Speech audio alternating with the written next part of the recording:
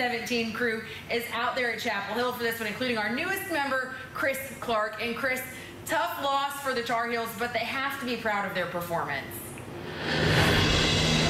Uh, man, I feel like I played a game out here with as much excitement as energy and the highs and the lows. I mean, before this game, people were comparing these two teams to David and Goliath. And obviously UNC being David, but they were saying it was David without a rock or a slingshot. I mean, we're talking about they took the number one team in the nation to the wire, to the wire. It came down to one play, one single play to beat the number one team. All they needed was two points, and they came up just oh so short. If you told everybody here that that that was going to happen, I'm pretty sure the faithful here would have taken it. This is as close as you can come to a win and feel good. I mean, one point, one point. You just took the number one team in the nation to the wire, came up short by one point, and not for nothing. I know people are going to be second guessing this thing, and Mack Brown should have kicked the PAT and played for overtime. Uh, it's nice to know he's got that much confidence in his guys to go out and get a couple of yards. You know what?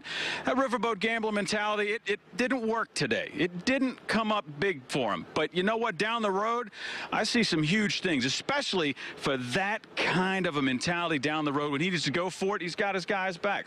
We're going to be talking to a few of them here and uh, bringing it to you later on in sports there. Alyssa? All right, thank you, Chris. Yes, we will check back in with you later in sports. That is, of course, the talk of the day. But the Wolfpack are in Tallahassee tonight. Kickoff 7.30. The Pirates also in action. They're playing right now. They're leading the Monarchs 17 to 3 late in the first half.